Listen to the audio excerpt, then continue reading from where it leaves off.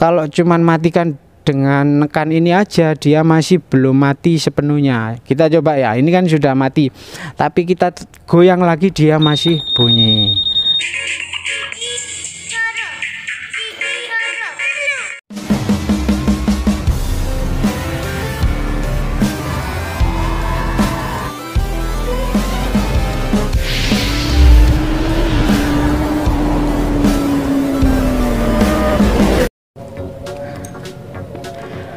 Assalamualaikum warahmatullahi wabarakatuh. Jumpa lagi dengan Nizam LB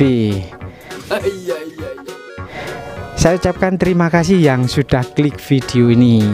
Oke guys, kali ini Nizam ada di hadapan dua Scoopy terbaru ya. Dua. Di sini ada Prestige sama fashionable blue. Nah ini tipenya ini bedanya ini guys yang sangat mencolok di fitur keylessnya kalau yang prestige dia sudah menggunakan uh, fitur smart key.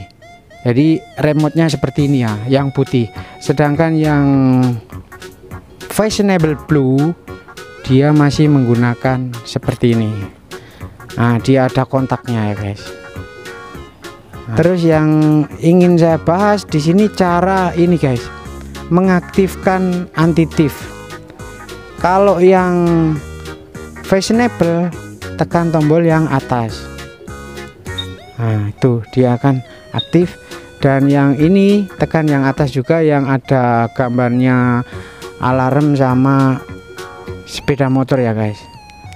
Nah, coba kita praktekkan. Ini nanti ada perbedaan guys kalau yang ini nah kita goyang kita matikan tinggal tekan yang unset aja selesai guys. Dan ini digoyang tidak akan bunyi ya. Kalau yang ini sudah dengan ini aja sudah cukup sudah mati. Tapi kalau yang ini guys ini coba ya.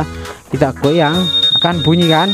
Dan cara nonaktifkannya seperti ini. Ditekan yang atas saja.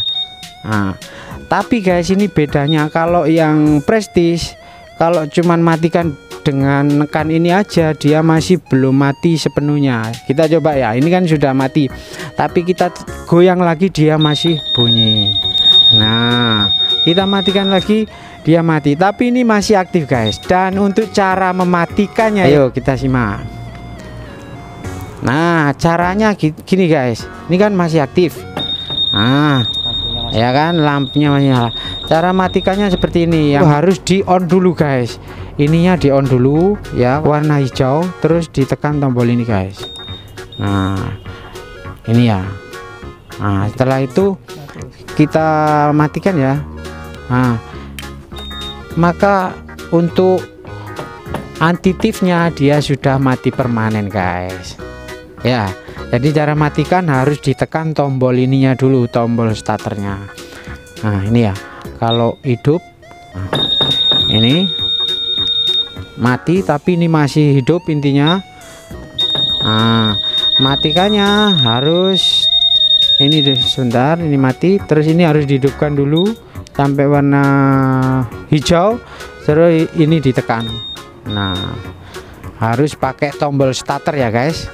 Jadi itu cara mematikan untuk yang tipe ini yang smart key ya jadi harus di tombol starter dulu. Oke guys itu aja informasinya dari Nizam LB semoga bermanfaat. Oh ya ingatkan yang belum subscribe mohon bantuannya ya guys untuk tekan tombol merah itu. Oke terima kasih. Assalamualaikum warahmatullahi wabarakatuh